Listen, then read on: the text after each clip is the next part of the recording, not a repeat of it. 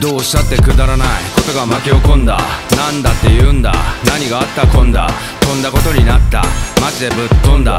だからどうした？気にしないいちいち次々にトラブル当たり前の毎日降りかかる火の粉振り払って他人かバカな奴の炎上はまるで放火急転直下立ち位置が高架集中放火代償は効果高架下でぶん殴って川に放り込むか交渉は決裂交渉と放火なんかノリが違う何や節の縁か兄弟で凶暴面倒な奴の天下兄弟と凶暴陰謀に転嫁えすいたマッチポンプ火をつけて鎮火安っぽい策お前はそんなもんか。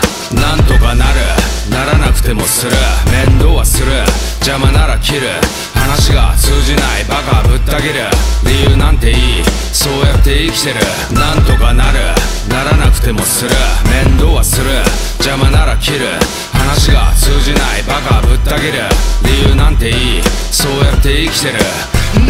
なんとかなるまたトラブルが起きても折れない頑固なやつサンドマンタフトカゲもタフ半端もんサグならすぐサンドバッグこの街じゃ言葉一つで大の大人が行方不明。罠かいくぐるか力つけるかどっちか選べなきゃラッパーはジエン俺は正直もんだがバカは見ねえ当たり前だろレールならばはみ出た骨が折れた下手が今だ俺はここだ。生きてりゃなんとかなる。10分の9殺されてもなんとかなる。死ぬこと以外かすり傷。俺らぶっ死ぬ時は前向きで散る。なんとかなる。ならなくてもする。面倒はする。邪魔なら切る。話が通じない。バカをぶった切る。理由なんていい。そうやって生きてる。なんとかなる。ならなくてもする。面倒はする邪魔なら切る。話が通じないバカはぶった切る。理由なんていいそうやって生きてる。なんとかなる。ならなくてもする。面倒はする。邪魔なら切る。